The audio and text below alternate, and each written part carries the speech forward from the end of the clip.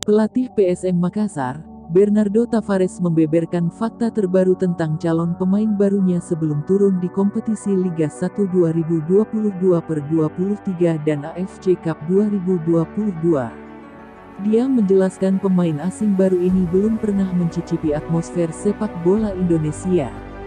Pemain yang akan kami hadirkan belum pernah main di Indonesia, kata Bernardo Tavares, Rabu, 18 per 5 sore.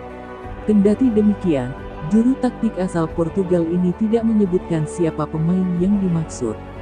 Hanya saja, penggawa asing itu baru saja menyelesaikan kompetisi Liga Portugal. Kebetulan kompetisi di negara Cristiano Ronaldo itu sudah selesai, terutama kompetisi di kasta kedua. Ini pemain asing baru selesai menjalankan kompetisi di negaranya Portugal, Red. Dia sudah siap segalanya, tambah Bernardo Tavares. Sementara itu, Direktur Utama PSM, Munafri Arifudin menyerahkan sepenuhnya urusan pemain asing kepada Bernardo. Pelatih yang mengurus pemain asing, Kemungkinan besar pemain tersebut dari mantan klubnya, ungkap Munafli Arifudin.